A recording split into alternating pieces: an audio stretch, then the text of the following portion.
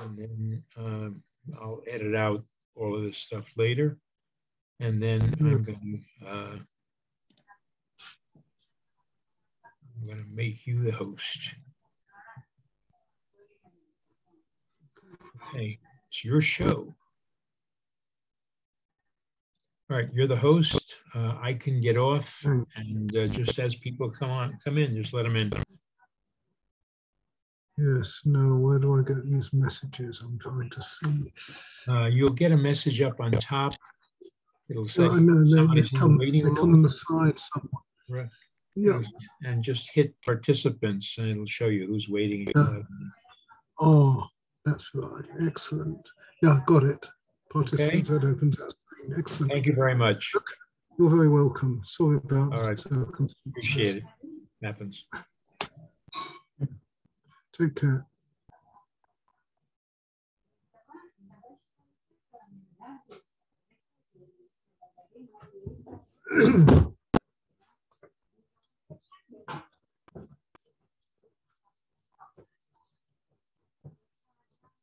Okay, I got it.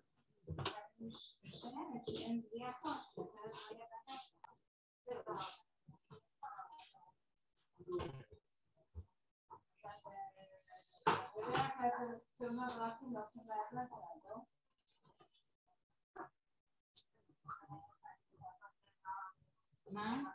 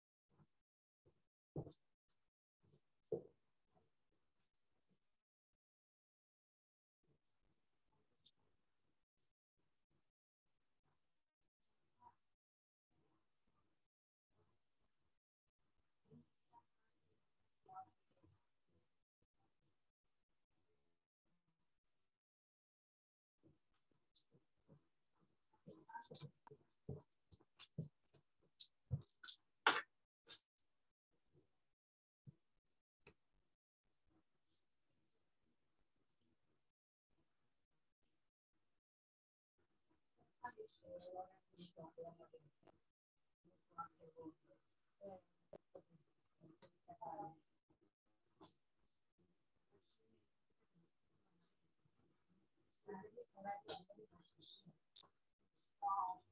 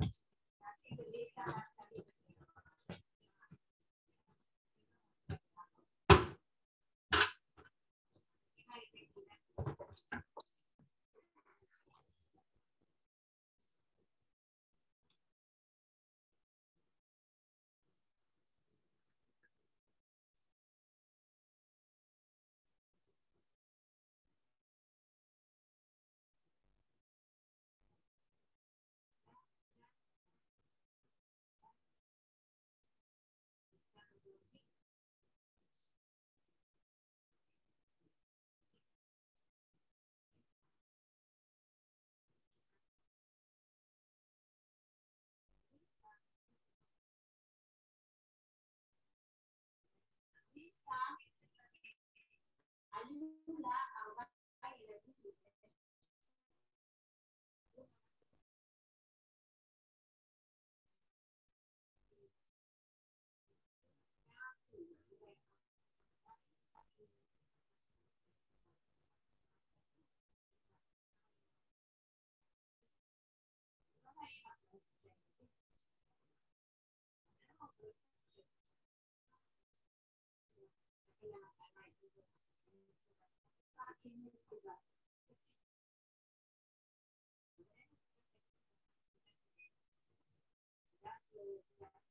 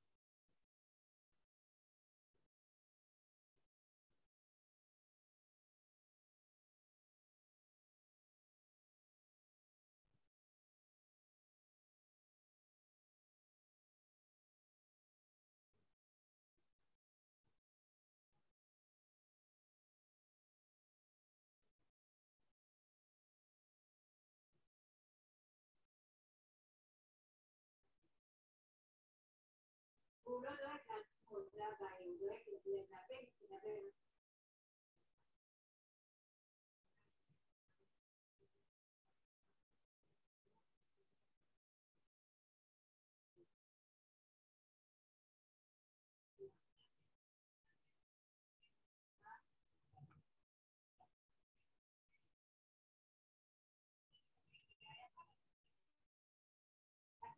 לנבא.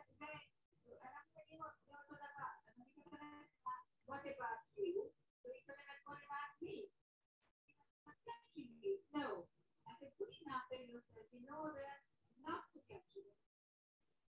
Okay, I'm going to go outside. למה שיסכם את עצמו, אם יש לו, הוא כבר סיכן את עצמו, שיציג את זה עכשיו. אם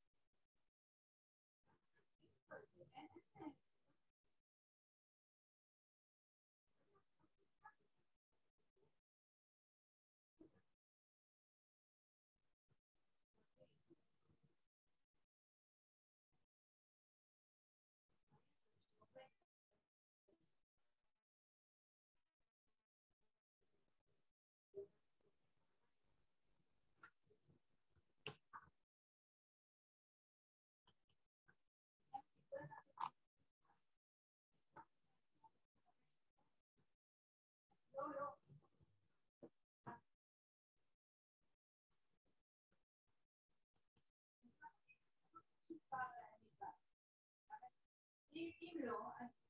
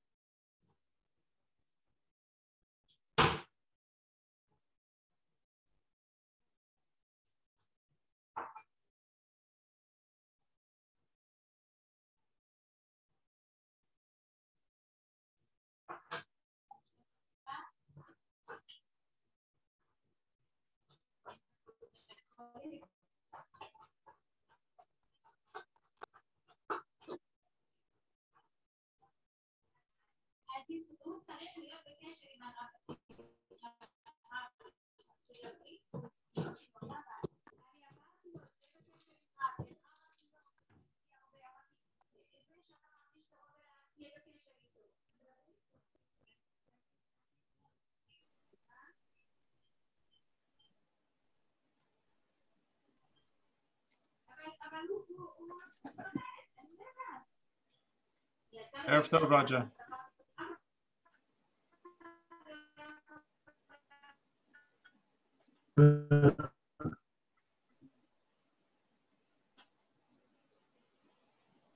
No, I'm digitizing.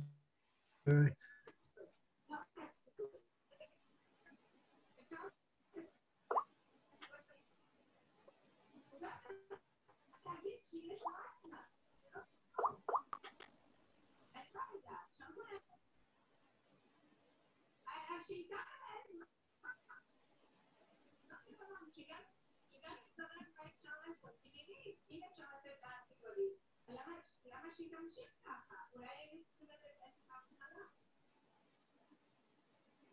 שאם אולי כדאי לתת, אני לא יודעת,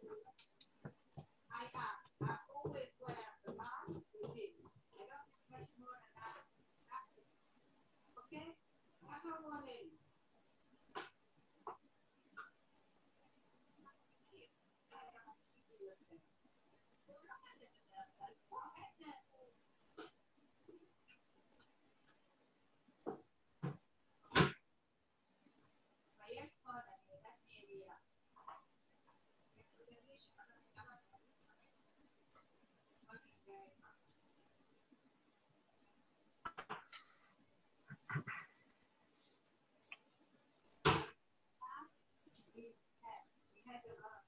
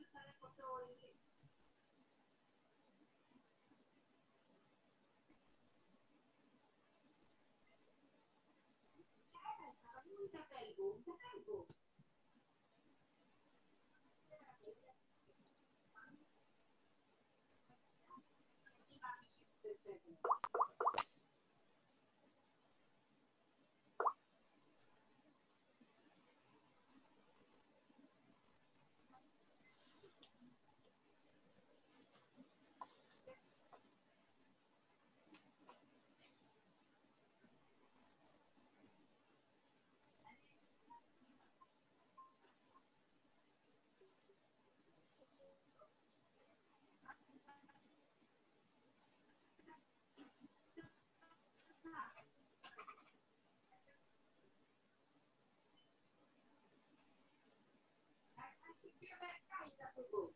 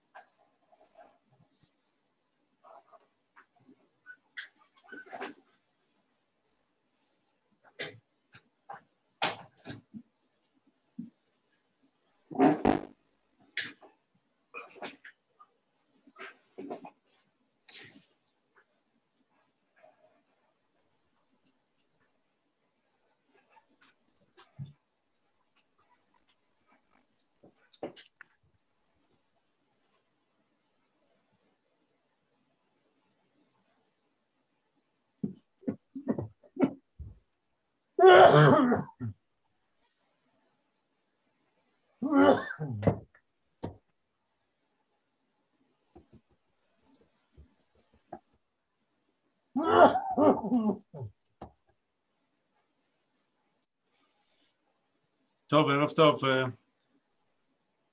אה, אה, רג'ה שומעים אותי?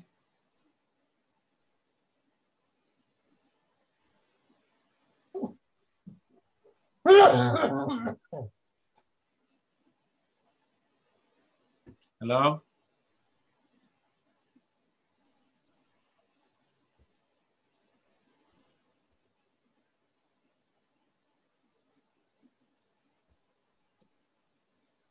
ערב טוב, רות.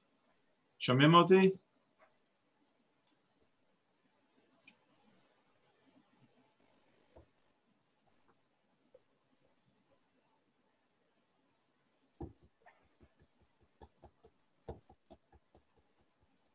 ערב טוב. אני לא שומע אותך, אתם שומעים אותי? Yes, yes. Yes.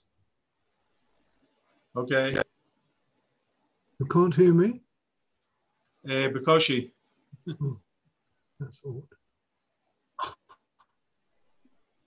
אני לא יודע איפה הציבור. אני יודע שיש אישה אחת שיש הלוויה הערב. שומעים היטב, אוקיי, אני שומע מדוד. בסדר. אוקיי, לעשות, אה, דיוויד, לעשות מיוט.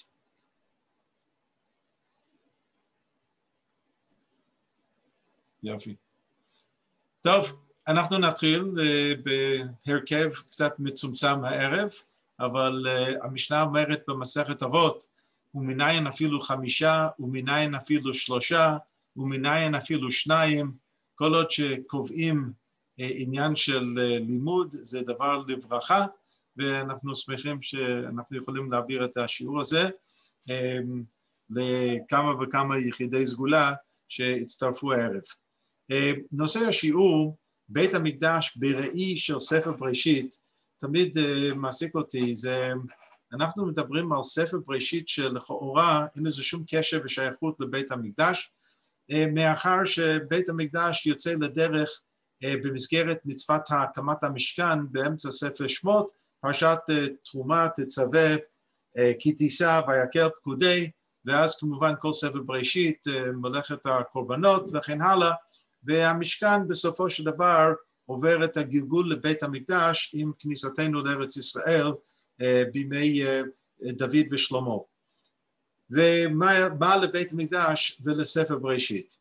ובאמת היא שדרך מדרשי חז"ל אנחנו רואים שחכמינו השתילו את המוטיב של בית המקדש על ספר בראשית, כיוון שספר בראשית בשבילנו הוא לא רק אה, אה, תולדות אה, אדם וחווה ונוח ואברהם, ישרף ויעקב אה, עם משפחותיהם עד הירידה למצרים אה, לקראת סוף ספר בראשית, אלא זה מודל לעם ישראל לדורי דורות, או בלשון הרמב"ן בפרשת לך לך, מעשה אבות, סימן לבנים. שאנחנו יכולים לראות uh, סימני עקבות בעצם עתידיים לעם ישראל דרך uh, ספר בראשית. ודווקא בפרשת השבוע, פרשת ויגש, אנחנו מקבלים את זה uh, במסגרת הפסוק, וזה מקום מספר אחד, אני יכול לעשות את זה ב-share screen, רק לתת לי שנייה אחת ואני עושה את זה.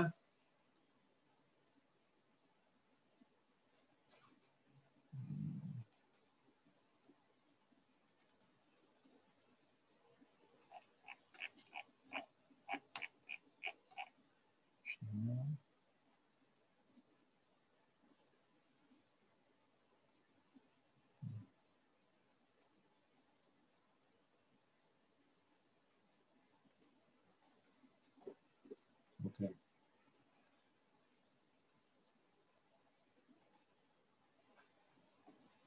שנייה.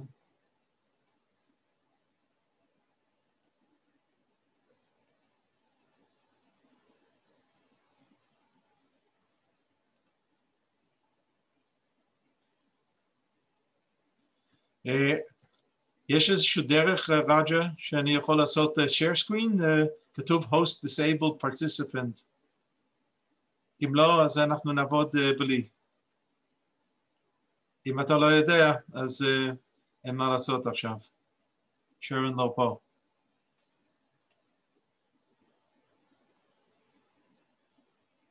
No.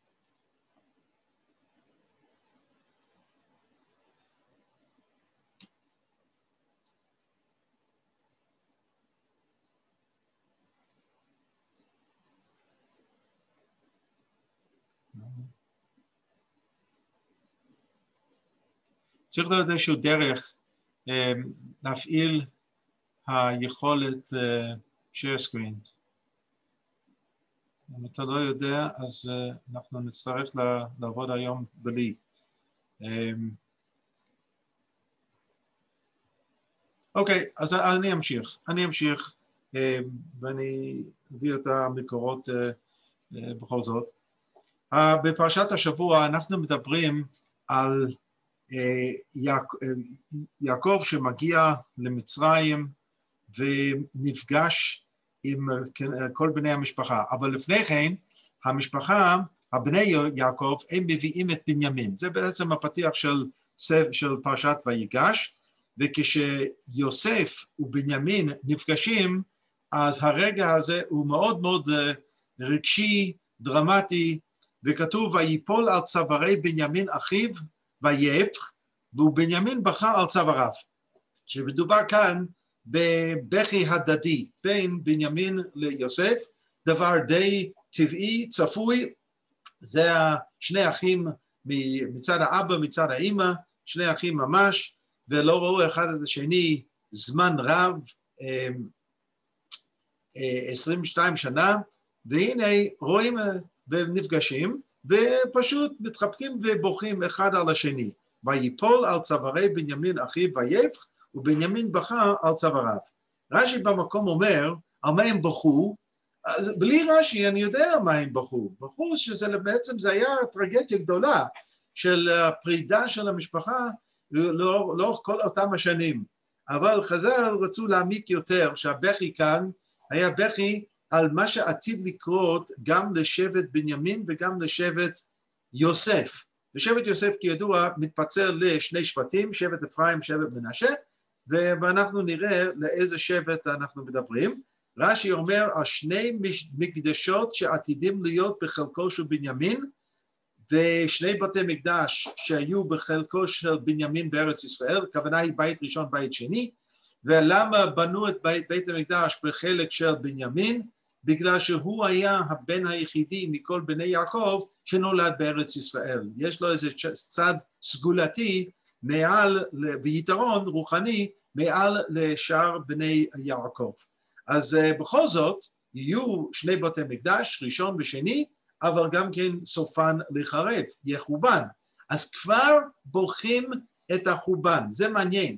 במקום להיות שמחים על כך שמבין כל השבטים הקדוש ברוך הוא בחר בשבט בנימין להיות החלק של ארץ ישראל שעלה שבתוכו ייבנה בית המקדש, יוסף דווקא בוחר לבכות את סופם של אותם בתי מקדש, החורבן של אותם בתי מקדש, ועל זה כבר הבכי. זאת אומרת, עם כל החשיבות וערך של בניין בית המקדש, לא יהיה לבית המקדש אה, עתיד, זה אמור להיחרב, ולכן הוא בכה.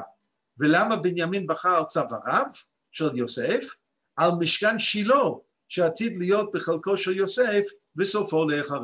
שילה זה בחלק אפרים, ואנחנו יודעים בדיוק איפה אה, שילה, ולא רק שיודעים איפה שילה, אלא אנחנו גם כן יודעים בדיוק איפה משכן שילה היה, מי שמטייל שם באזור אה, בנימין, באזור אפרים, יכול להגיע לשם בקלות, יש שילוט, ואפשר לראות ולעמוד ממש על המקום הזה שעמד המשכן 369 שנה בחבל ארץ אפרים, וזה שבט יוסף כידוע, וזה גם כן אה, בדרך לחורבן.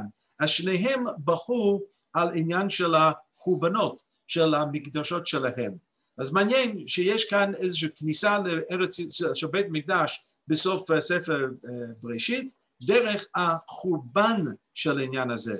וזה גם כן מעניין, כיוון שסוף ספר בראשית בעצם מוביל לידי גלות, וגלות זה כבר הימים הקשים, וכך חז"ל השתילו את בית המקדש על גבי הסיפור הזה. אבל כשאני מסתכל עכשיו אחורה לפרשת בראשית, יש קטע של רמב"ן מאוד מאוד מפורסם, והרמב"ן על הפסוק בסוף הקטע של מצוות שבת, לא מצוות שבת, אלא תיאור של שבת, ויחולו השמיים בארץ וכל צבאם, אז כתוב, כי בו שבת מכל מלאכתו, אשר ברא אלוקים לעשות. ורמב"ן בונה על המילה הזאת לעשות. מה זה לעשות? אז לרמב"ן יש תיאוריה מעניינת, שששת ימי בראשית זה למעשה טיפוס אב לששת אלפים שנות היסטוריה של האנושות. וכל יום ויום משקף מילניה, אלף שנה של תולדות העולם, וכך הוא מגיע ליום הרביעי. יום הרביעי זה השמש וירח וכוכבים, ואומר שזה האלף של בתי מקדש, ואנחנו יודעים שבית ראשון עמד 410 שנים, ואנחנו גם יודעים שבין לבין, בין בית ראשון לשני היו 70 שנות גלות, אז תוסיף 70 לזה, זה 410 ל-70, זה 480 שנה, בית שני זה 420 שנה, זה כבר מתקרב לאלף שנה, אם אנחנו מוסיפים טיפ טיפונת עד מרד בר כוכבא, כבר הגענו לאלף שנה, והרמב"ן אומר שהשמש זה הבית ראשון, שבית ראשון עמד במלוא תפארתו עם לא מעט ניסים יומיומיים, בית שני היה די עלוב, בוודאי בהתחלה, עד שהולדוס שיקם את הבית זה לקח הרבה זמן, אז אה, ביחס לבית ראשון רמב"ן אומר זה השמש, בית שני זה לא יותר מהירח שקיבל את ההוד והדר מבית ראשון ואת הכוכבים, אולי זה כבר רמז למה שעתיד להיות אחרי חורבן בית שני, בתי כנסיות ובתי מדרשות, שהם יהיו בבחינת מקדש מעט. וזה הפסוק שהבאתי במקום מספר 4 בספר אה, יחזקאל, אה, ישעיהו, סליחה, והיא להם למקדש מעט. אמר רבי יצחק, אלו בתי כנסיות ובתי מדרשות שבבבל. זאת אומרת, מקדש מעט, אנחנו יודעים שזה הסטטוס של בית כנסת ובית מדרש, והדבר הזה אולי מרומז דרך הכוכבים ש- של יום הרביעי של הבריאה. וזה מה שהרמב"ן הולך כל יום של בריאת העולם, מרחיב בדיבור על אלף שנות היסטוריה של העולם, המאפיין של המילניה, אפשר לראות את זה ברמז דרך אותו יום של בריאה, וכך אה, יום הרביעי הוא היום של המאורות, יהי מאורות ברכי השמיים, את, השם, את המאור הגדול לממשלת ביום, המאור הקטן לממשלת בלילה, וזה בית ראשון ובית שני, אז יש כאן רמזים לבית המקדש. יש עוד מקום שהרמב"ן מזכיר את העניין של בית המקדש, כשבפרשת אה, תולדות, שיצחק חופר את הבורות אשר חפר בימי אברהם אביו, בדיוק אותם בורות ממש, ויצחק נותן להם אה, שמות, אה, ואחד זה אה, שטנה ואחד זה רחובות, והראש...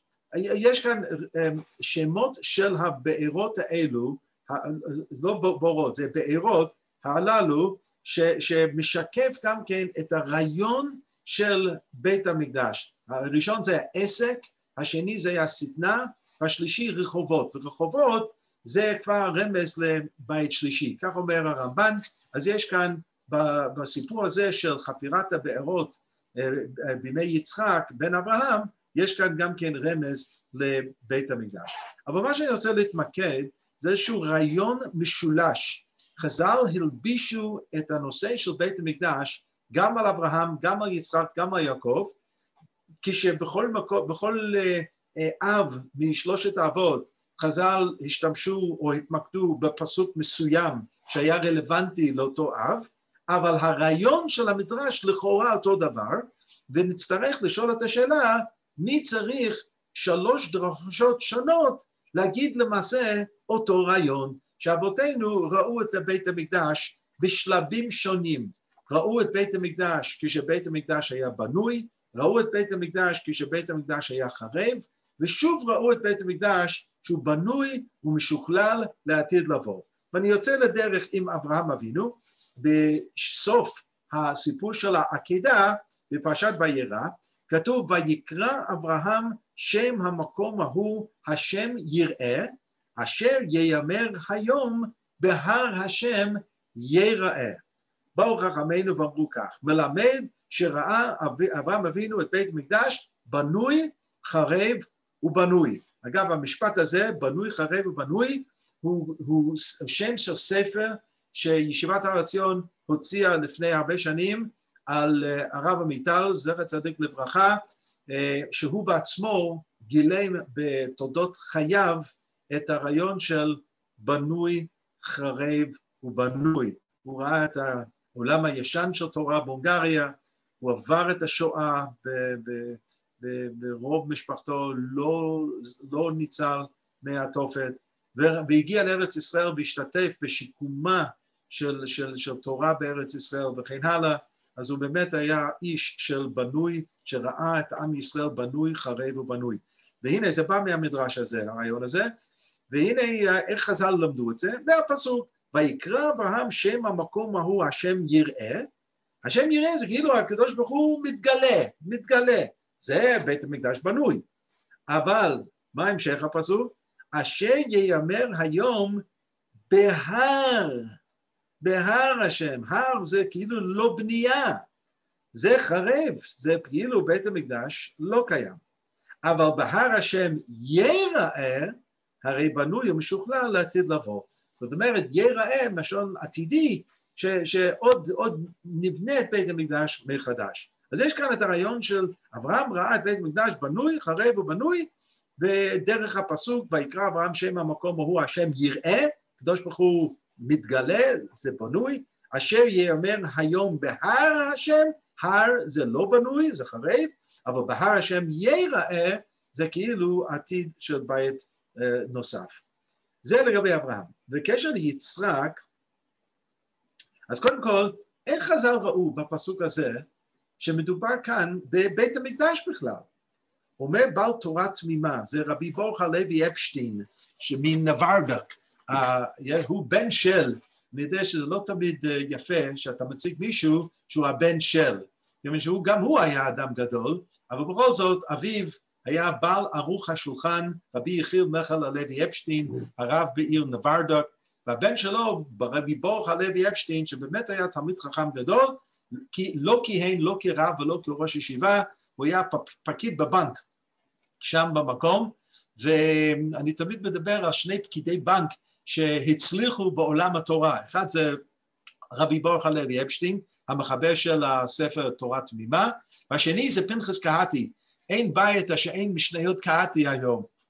ופנחס קהתי עבד אה, בשביל בנק מזרחי ברחוב בן יהודה, ובאותם ימים הבנקאות לא הייתה כל כך ממוחשב, והכל היה שטמפל, בטח אנשים זוכרים לעמוד בתור, להפקיד צ'ק, והפקיד היה עשה שטמפל פה, שטמפל שם, ויצאת עם איזשהו פתק של קבלה, וזה מה שפנחס קהתי עשה רוב הזמן, ובמינכן המערב, בבית כנסת ליד ההיכל שלמה, הוא היה נותן שיעור יומי אה, במשניות, ואחרי שלושים שנה הרשימות שלו זה היה למעשה הספר, שתי מסך כרכים של פנחס קהתי.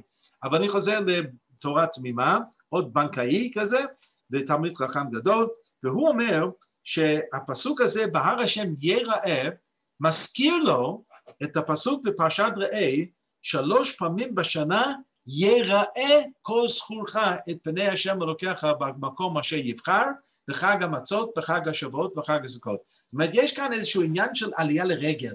זה לא סתם שאברהם אבינו ראה את בית המקדש בנוי חרב ובנוי, אלא ראה את בית המקדש בשלבים של מצוות עלייה לרגל. זה מאוד חשוב, ואנחנו עוד נחזור לנקודה הזאת. והנה, אמ, מגיעים עכשיו ליצחק. אז בקשר ליצחק, הפסוק בא מפרשת אה, חיי שרה, וכשעבד אברהם חוזר, אה, עבד אברהם חוזר ל... סליחה, סליחה, סליחה, סליחה, אה, הסיפור של יצחק בעצם הוא בפרשת תולדות, והרקע הוא יצחק נותן ליעקב את הברכות, מה שלכאורה היו מיועדות לעשיו. ושם כתוב, ויגש וישק לו. זאת אומרת, יצחק מבקש מיעקב להתקרב, הלא הוא היה עיוור, וירח את ריח בגדיו ויברכהו.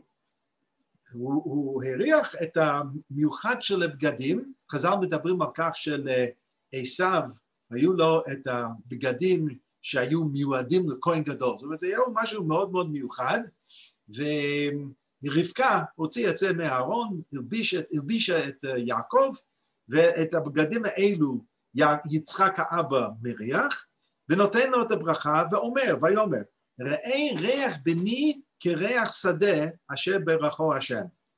עכשיו, בפסוק הזה, ראה ריח בני כריח שדה אשר ברכו השם, חזור, חז"ל ראו בדיוק אותו רעיון כפי שראו אצל אברהם, שיצחק ראה את בית המקדש בנוי, חרב, ושוב בנוי ומשוכלל לעתיד לבוא. איך עשו את זה? שמו את הפסוק הזה על שולחן הניתוחים, ואמרו ככה, ראה ריח בני. ריח בני, המילה ריח מזכיר ריח ניחוח לשם מספר ויקרא, קורבנות, זאת אומרת בית המקדש פעיל, זה עובד טוב, מביאים, מקריבים קורבנות, ריח בני. אבל אחר כך כריח שדה, אה, שדה, זה כבר בלי בניין, זה, זה לא בנוי, שטח לא בנוי, זה בית המקדש חרב. אבל אשר ברכו השם, הקדוש ברוך הוא בירך את המקום הזה, בטח זה לא מקום חלל ריק, אלא זה מקום בנוי כבר, זה בנוי משוכלל לעתיד לבוא. ואיך חז"ל הבינו שיש איזשהו קשר בפסוק הזה לבית המקדש? כיוון שכתוב כריח שדה, ובסוף פרשת אה, חיי שרה, כשבאמת עבד אברהם אה, חוזר עם רבקה, כתוב שם, ויצא יצחק לסוח בשדה. זאת אומרת, וחז"ל אמרו שזה היה כאילו הזמן של תפילת מנחה. אין שיחה אלא תפילה, היה שם נקודה של עבודת השם בין יצחק לקדוש ברוך הוא, ולכן חז"ל הרגישו שכריח שדה, השדה מתחבר. אם ויצא יצחק לסוח בשדה, זה היה עבודת השם בתפילה, כאן זה עבודת השם בקורבנות, וגם תפילה, והנה יש את המאמר שהוא די דומה, אם לא ממש דומה, לאברהם אבינו, אבל מפסוק אחר. ראה ריח בני כריח שדה אשר ברכו השם. ונשאר רק יעקב אבינו. בפרשת ויצא, בתחילת הפרשה, יעקב אבינו שוכב בלילה ויפגע במקום וילן שם קיבה השמש ושם חז"ל אמרו אין פגיעה אלא תפילה וגם הוא מתפלל שם שבפסוק הראשון אנחנו מדברים על אברהם, פסוק השני על יצחק ועכשיו אנחנו ביעקב אבינו והוא אמר מה נורא המקום הזה?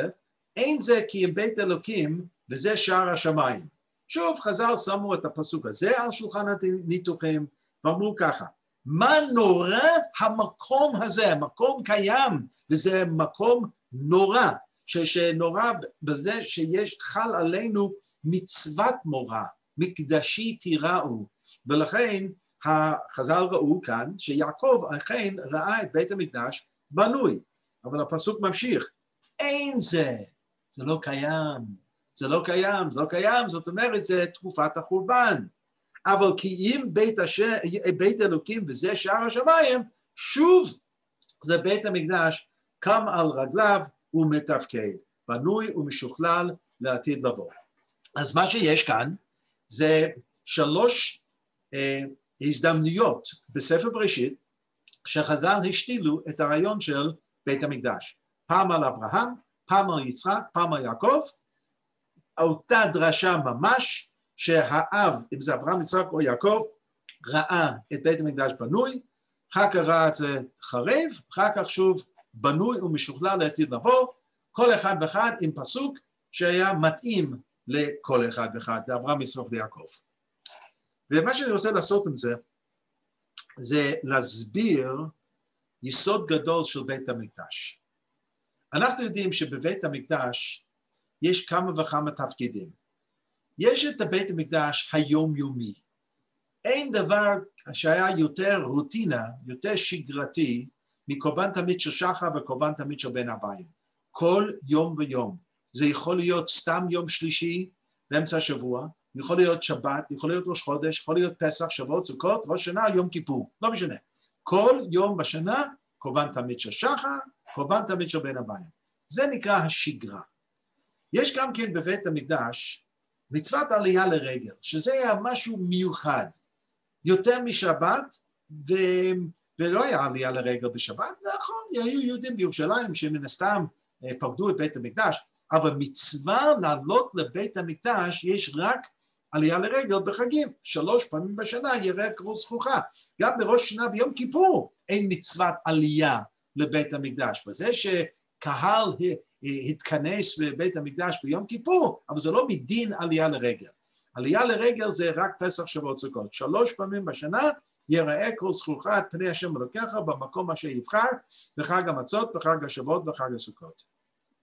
זה בעצם התפקיד השני. התפקיד השלישי זה יום כיפור. יום כיפור זה יום בפני עצמו, כשקוראים פרשת החרימות, מחצית הראשונה של פרשת החרימות, רואים שיום כיפור פשוט שונה לגמרי מהתפקוד של בית המקדש של יתר השנה. כאן הכהנים האחרים אינם בתפקיד, רק כהן גדול, הוא עושה סולו, הוא עושה את הכל מבוקר עד ערב, זה התפקיד שלו. ויש במשניות מסכת מיוחדת על יום כיפור, מסכת יומא, שאומנם יש שמונה פרקים, והפרק האחרון שייך גם אלינו. פרק האחרון קשור לדיני צום ביום כיפור, מצוות תשובה ביום כיפור, כן, זה פרק ח', פרק שמיני. ומה עם שבעת הפרקים הראשונים של מסכת יומא? זה קשור לכהן גדול. זה קשור לעבודת בית המקדש ביום הכיפורים. אז זה בעצם, זה כאילו מקבל איזו מסכת בפני עצמה בשישה סדרי משנה. ו... אז יש כאן שלושה מוקדים בבית המקדש, השגרה, עלייה לרגל והיום כיפור. והשאלה היא כזאת, האם ניתן לומר שכולם שווי, שווי ערך בפני הקדוש ברוך הוא? הקדוש ברוך הוא נתן לנו מצוות. אז יש מצווה של קורבן תמיד בבוקר, יש מצווה של יום כיפור, יש מצווה של חגים, בסדר, מצוות, מערכת של מצוות. או האם יהיה ניתן לומר שמבין השלישייה הזאת, יום כיפור, שלוש רגלים וכל יום ויום, אחד מהם הוא בעצם מוביל בעניין של בית המקדש, כאילו זאת הסיבה שיש בית המקדש, וכל מה שיש בדברים אחרים זה נקרא מסביב. מסביב. יש איזה כוכב ראשי, ויש גם כן תומכים בעניין הזה. האם יהיה אפשר לומר שהפואנטה של בית המקדש זה עלייה לרגל, ויום כיפור ושאר הימים זה בסדר, זה חשוב, זה שם, אבל בית המקדש זה בשביל עלייה לרגל, אפשר להגיד הפוך, שבית המקדש זה בשביל יום כיפור, וכל היתר בא כאילו כתרופת לוואי, או אפילו הפוך הפוך, שכל הפואנטה של בית המקדש זה עבודת בית המקדש היומיומית, וכל הימים המיוחדים זה תופעות לוואי. אפשר להגיד, מה זה משנה, אני צריך לקיים את כל המצוות, אבל זה בכל זאת חשוב, לשים את הדגש על בית המקדש. והשאלה היא, באיזה סוג בית המקדש ראו חכמינו, אה, אה, אבותינו, אברהם, יצחק ויעקב? כשאנחנו יודעים שמה שהצגתי עכשיו זה לא סתם משהו היפתטי, אלא ניתן לגלות דרך רש"י, רמב"ן, רמב"ם ורמב"ן, נעשה את זה לפי סדר היסטורי, רש"י, רמב"ם ורמב"ן, שלוש תפיסות שונות על העיקר של בית המקדש.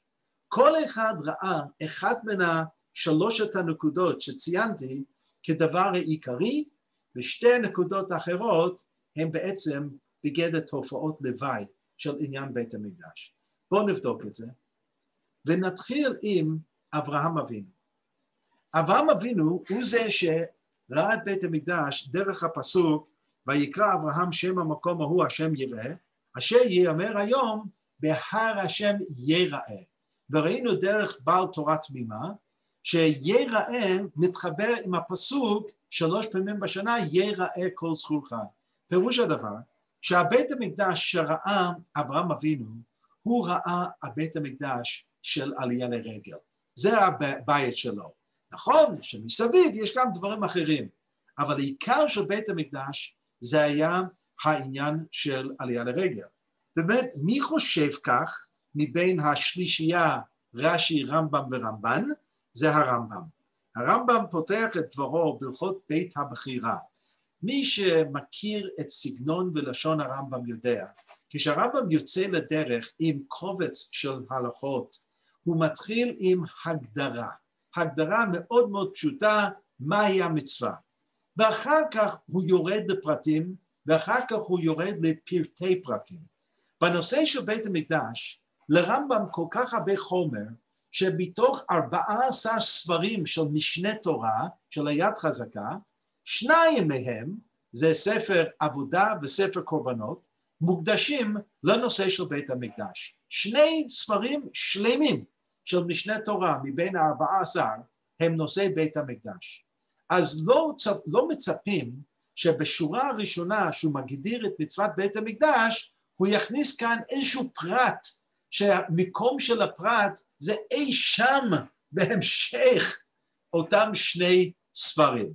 ותקשיבו ללשון הרמב"ם, מצוות עשה לעשות בית לשם, מוכן להיות מקריבים בו הקורבנות, עד כאן זה תקין.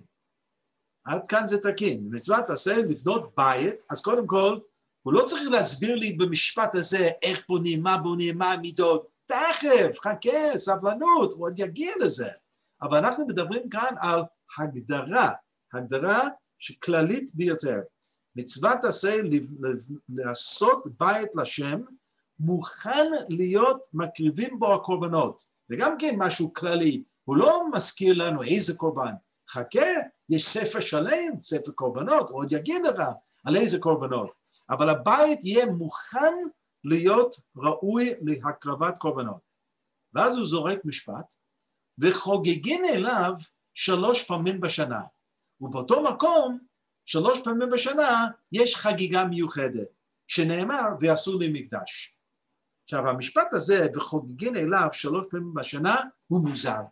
המיקום הוא מוזר, כיוון שלגבי הדין של עלייה לרגל, מבין כל דיני בית המקדש של שני ספרים שלמים ברמב"ם, יש ברמב"ם קובץ, הלכות חגיגה, שני פרקים על עלייה לרגל, פרק אחד על הקל, עוד ידבר בהרחבה על המצווה הזאת של עלייה לרגל. למה להכניס את זה, לשלב את זה, כחלק מעצם ההגדרה של בניין בית המקדש? מצוות עשה לעשות בית לשם מוכן להיות מקריבים בו קורבנות וחוגגים אליו שלוש פעמים בשנה, שנאמר, הנה הפסוק, ועשו לי מקדש. אם לא זה שהרמב"ם ראה לאותת שחוגגים אליו שלוש פעמים בשנה הוא חלק מהיסוד של בית המקדש. זה לא פרט מבין פרטי פרטים של בית המקדש, אלא העניין המרכזי של בית המקדש זה הרונדבו, המפגש שלוש פעמים בשנה בין הקדוש ברוך הוא לכנסת ישראל. בעצם המפגש הזה היה אמור להתקיים יום-יום, אבל זה בלתי אפשרי. אנחנו צריכים לחזור הביתה, צריך לעבוד את השדות, צריך לגדל משפחות, צריך לעשות הרבה דברים לגיטימיים. אבל שלוש פעמים בשנה אתה מקיים את המפגש הזה עם הקדוש ברוך הוא. יש יהודי אחד שמקיים את המפגש הזה כל השנה, כל השנה ללא יוצא מן הכלל, קוראים לו כהן גדול, כהן גדול. חז"ל אמרו שלכהן גדול יש לו דין רגל בפני עצמו, יום טוב בפני עצמו, כל יום ויום. עד איך זה בא לידי ביטוי? מה, מה, הוא, הוא, הוא אומר קידש כל יום? לא, לא, לא, לא, לא. זה, זה בא לידי ביטוי בדיני אבל. אנחנו יודעים שלא נדע מצרות, אבל אם אדם יושב שבעה לפני פסח או לפני שבועות או לפני סוכות, אז מיד עם כניסת החג האבלות אה, מתבטלת. כיוון ששמחה ואבל לא הולך ביחד. ואם יש הלוויה בחול המועד, פסח או סוכות, האבל בכלל לא מתחיל, עד אחרי החג. זה אנחנו יודעים. וזה כבר שיעור בפני עצמו. למה שמחה ואבל לא הולכים ביחד? אבל זו עובדה הלכתית, שהם לא הולכים ביחד. לגבי כהן גדול, התורה אומרת, לאביו ולאמו לא ייטמע. שלא רק שהכהן גדול לא משתתף בהלוויה ובהכנה של קבורה של הוריו, שלגבי כהן הדיוט הוא כן מטמא לשבעה קרובים, שהוא הולך אחר כך לטבל. יש מחלוקת ראשונים האם כהן גדול, אחרי שהוא לא משתתף בכלל בהכנה לקבורה של אבא ואימא, שלא לדבר על שאר הקרובים, יש ראשונים שסוברים שהוא אפילו לא מתאבל, הוא לא יושב שבעה. יש אומרים שהוא כן יושב שבעה, אבל אה, עם אה, תיקונים אפשר לומר, שזה לא כמו כל יהודי, ויש ראשונים שסוברים שכהן גדול בכלל לא מתאבל. למה לא מתאבל? רגל בפני עצמו, כל יום, כל יום זה יום טוב. אבל זה רק אדם אחד מבין כלל ישראל, כהן גדול. עם ישראל מתאבל במשך השנה כידוע, אבל עלייה לרגל שלוש פעמים. וזה לפי הרמב"ם היסוד של בית המקדש. וזה אברהם אבינו, שראה את הבית המקדש של בהר השם ייראה, שלוש פעמים בשנה ייראה כל זכורך. ואז אנחנו עוברים לרמב"ן. רמב"ן בתחילת פרשת תחומה אומר לנו שהיסוד של בית המקדש זה עבודת השם היומיומית. יום יום, יום יום. אנשים חושבים אולי בטעות שאנחנו צריכים יום מיוחד כדי לבטא דברים מיוחדים. אני זוכר כשהייתי בישיבה קטנה בארצות הברית, אז הרבנים שלנו תמיד היו אומרים לנו שיום כמו אה, יום הודיה, מה שבאמריקה זה דבר גדול בסוף חודש נובמבר, Thanksgiving Day, יום הודיה, מה פתאום יום הודיה? שלוש פעמים ביום, מודים אנחנו לך, אנחנו מודים לקדוש ברוך הוא. כל יום ועל ניסיך, שבכל יום עמנו ועל נפלאותיך וטובותיך, שבכל עת ערב ובוקר וצהריים. אנחנו מודים לקדוש ברוך הוא כל הזמן. אנחנו לא מתמקדים ביום אחד להודות לקדוש ברוך הוא על דברים. והם ראו כאילו לא, לא בדיוק יום ש, ש, שבני תורה היו צריכים לחקור. זה כבר סיפור שאנחנו יודעים שמורנו סולובייצ'ק אצלו בביתו בבוסטון כן ישב וסעד על שולחן היום הודיה על בסיס בשר הודו כמנהג האמריקאים, והוא עשה את זה להביע את, ה, את תחושת או רגשות הפטריוטית שלו, שהוא חשב שזה מטעם הכרת הטוב לאמריקה, ולכן הוא הזדהה, הוא דווקא כן הזדהה, כיוון שזה איבד כבר את, ה, את הרקע הדתי כבר מזמן, מזמן, מזמן, זה לא חג נוצרי. אבל לא משנה, זה מה שלימדו אותנו בישיבה, שאצלנו הודיה זה לא פעם בשנה מה שנקרא. אותו דבר לגבי יום האב ויום האם. כמה פעמים שמענו שיחות, מה, פעם אחת בשנה אתה צריך כיבוד אב ואם? זה, זה, זה, יש בעשרת הדיברות, כבד את אביך ואת אמך. יש אה, סדרה של פרסומת ברדיו מאופטיקה הלפרין. אופטיקה הלפרין, סך הכל הם מוכרים משקפיים, וכל הפרסומת זה, מתי פעם ראשונה שהלכת להכין כוס קפה לאבא או לאמא. זהו, וקיימת כיבוד אברהם. הנה מסר מאופטיקה הלפרין. הם לא אומרים מילה אחת על הפרודוקט שהם מוכרים, משקפיים, וזהו. אבל, אז הם פשוט ניצלו את העניין הזה של הפרסומת לפרסם דבר על מצוות כיבוד הורים. אז אנחנו יודעים שכיבוד הורים זה מסביב לשעון. זה מצוות עשה שלא הזמן גרמה, גברים, נשים, כולם חייבים בכיבוד ההורים. ואתה אומר, יום האב, יום האם, כאילו פעם בשנה נזכרת שיש לך אבא, יש לך איבא, וכן הלאה. אז כאן בארץ גם כן, אנחנו יודעים שכל היום האב ויום האם זה עסק של אנשים שמוכרים את הכרטיסי ברכה והם מתפרנסים יפה מהיום האב ויום האם, שגם את יום האם נכנס כאן בארץ, אני אפילו לא יודע באיזה יום זה, רק בגלל שהם עושים את זה באמריקה, בואו נעשה את זה כאן, ומישהו אמר שיום האב לא צריכים כאן בארץ, כיוון שיש לנו חודש אב, אז לא צריכים יום האב.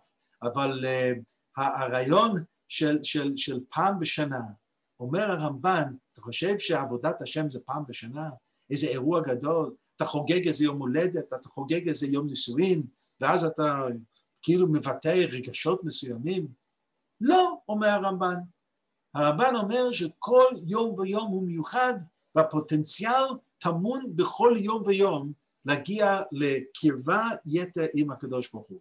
פעם מורנו סולובייצ'ק אפילו למד את הרעיון הזה מהפסוק בפרשת פנחס, שנאמר בהקשר לקורבן תמיד של, של בוקר, שחר, וקורבן תמיד של בן הביים, כתוב עולה תמיד העשויה בהר סיני לריח ניחוח היא של השם.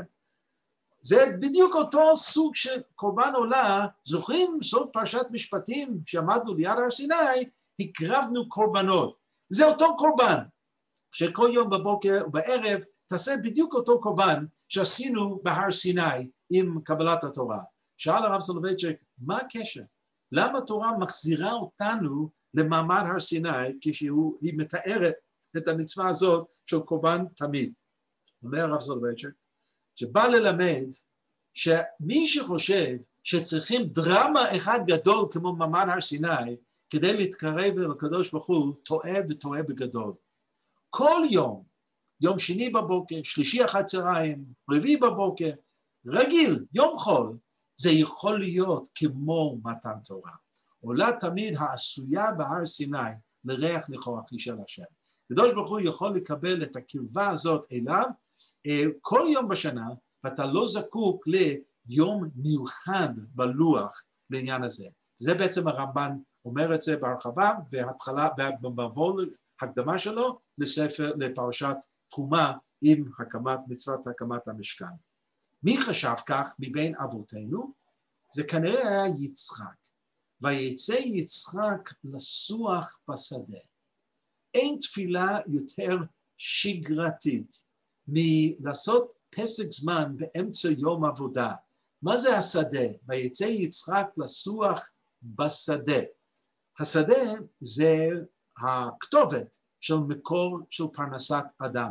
אפילו בלועזית, אנשים לא שמו לב, כשמדברים על מקצוע של בן אדם, זה יכול להיות, הוא בהייטק, והוא ברפואה, והוא עושה דברים אחרים, רחוק מאוד מחקלאות, רחוק מאוד, אומרים לו, מאיזה field, what field are you? מה זה what field? איזה שדה אתה? אלא זה בעצם איזה מקצוע אתה. אבל אומרים את זה field, שדה, כיוון שהשדה מסמל את העניין הזה של כתובת של פרנסה. ויכול להיות השדה זה המשרד באיזשהו מקום, בסדר, יכול להיות זה מעבדה באיזשהו מקום, יכול להיות זה כיתת לימוד באיזשהו מקום. זה השדה שלו, זה המקצוע שלו, זה הפילד שלו. ויצא יצחק לסוח בשדה. באמצע יום עבודה אתה עושה פסק זמן ואתה מתחבר עם הקדוש ברוך הוא יום יום. אין דבר המבטא את השגרה מכל התפילות שלנו כמו תפילת מנחה, שאתה בתוך תוכו של השגרת חיים ממש, ממש. ולכן, ולכן הרעיון של יצחק אבינו מתאים לסוג של בית המקדש שהרמב"ן עוד יתאר כמה שנים טובות אחר כך.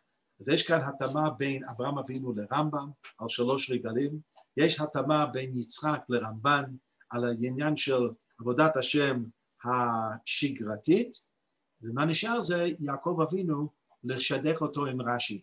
ומה אומר אה, רש"י? שהיסוד של בית המקדש זה כפרת עוון העגל הזהב.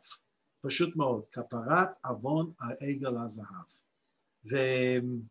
וזה, אפשר ללמוד את זה מפרשת כי ומפרשת שמיני, קח לך עגל בן בקר, רש"י אומר, ברגע של חנוכת המשכן, הרעיון היה להביא את הכפרה של מסע העגל, רש"י נאמן לשיטתו שכל הרעיון של המשכן בא לכפר על עוון העגל, רמב"ן חולק אני חייב לומר, אבל זה מה שרש"י אומר, ולכן לפי רש"י הדגש בעבודת המשכן ואחר כך בית המקדש זה יום כיפור.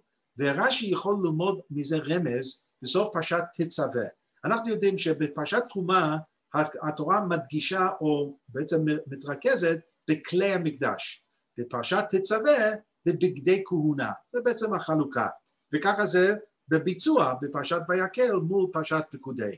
אבל יש חריג אחד בפרשת תצווה, וזה המזבח הזהב הפנימי, שהתורה לא מדברת על זה בפרשת תרומה, ששם היה צריך להיות הכתובת הטבעית שלו, אלא אחרי שהתורה מסיימת בעצם את פרשת תצווה, היא כאילו, אוי, שכחתי משהו, ועשית מזבח זהב טהור, ופתאום מדברים על המזבח הפנימי, שנקרא מזבח הקטורת. למה?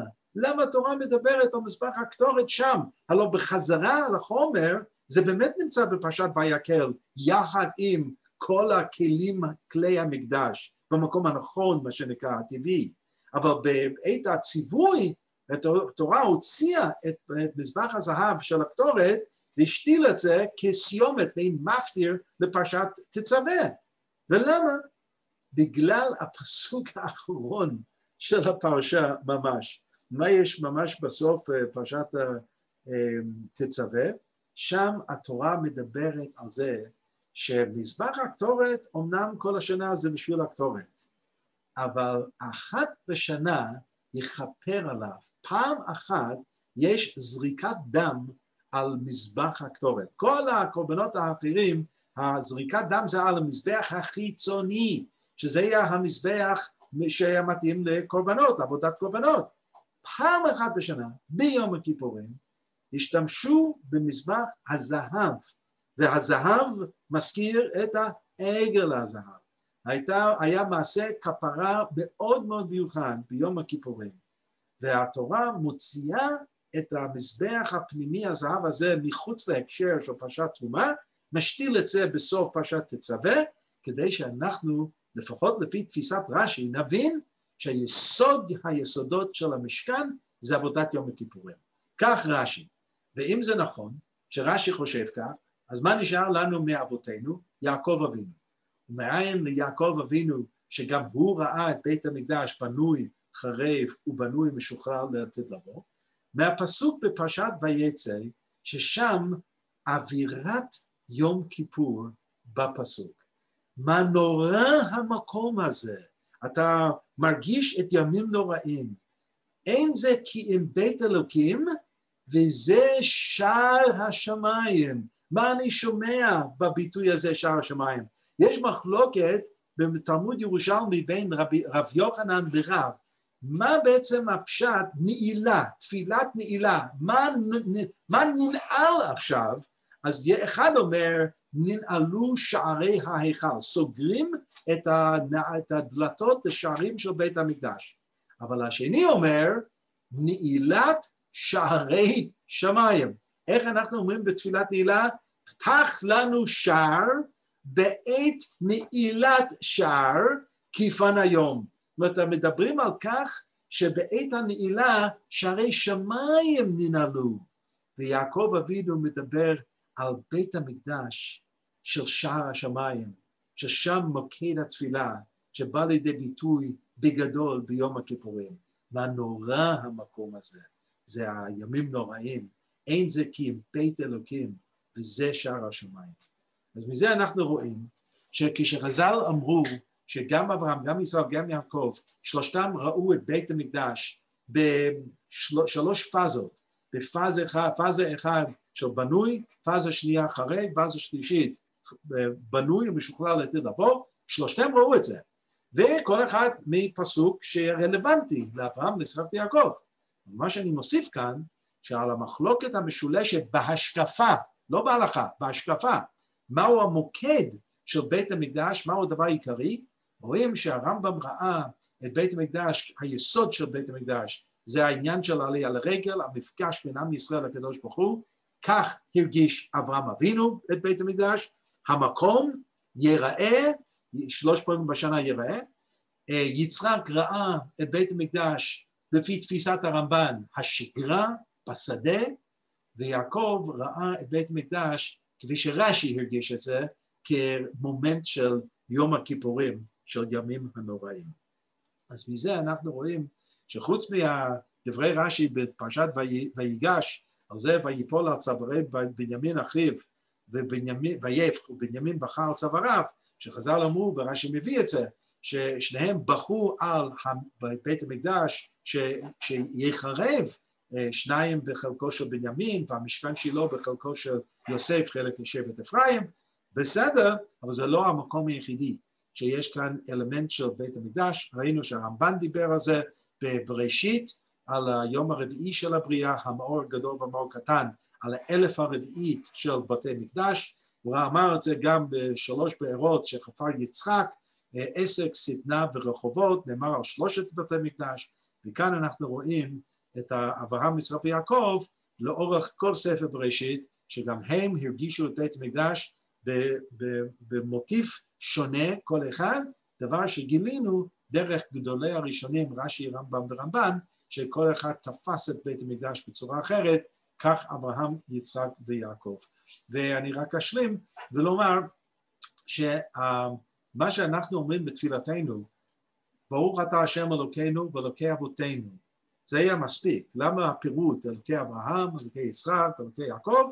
אז קודם כל הלשון הזה נאמר מספר שמות, הקדוש ברוך הוא אמר את זה כבר למשה רבנו, אלוקי אבותם, אלוקי אברהם, אלוקי יצחק, אלוקי יעקב, זה ישר מהחומש, אלא זה בא ללמד שעבודת השם של אברהם היה דרך אחת, עבודת השם של יצחק דרך אחרת, עבודת השם של יעקב אולי תוכנית משולבת של אברהם ויצחק ביחד, או וגם גוון של מיוחד גם אצל יעקב אבינו.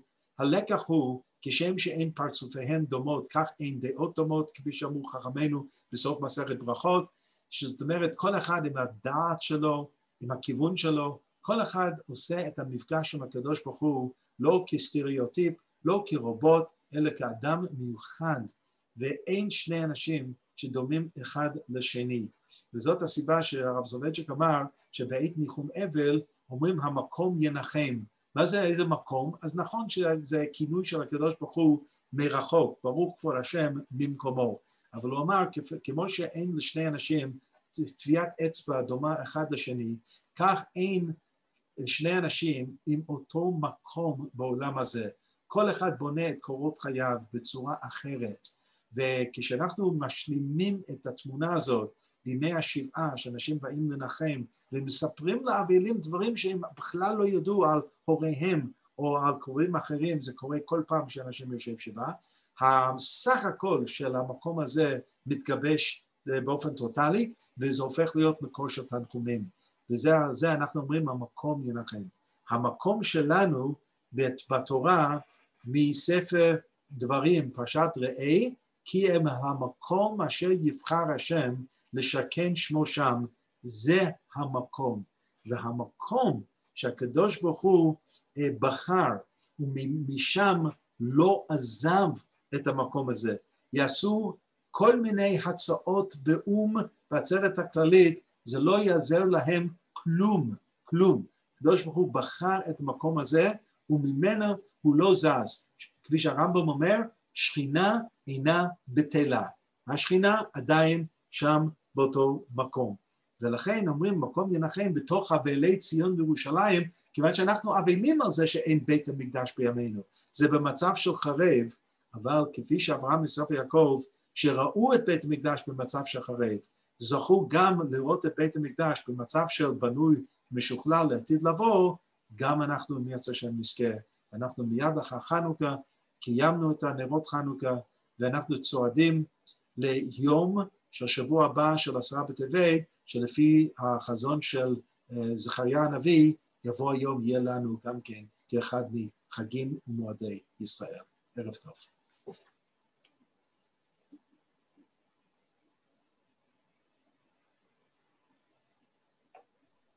שכוח. אוקיי. טוב. דיוויד, תודה. כן, תודה. תודה לכולכם. Mm-hmm.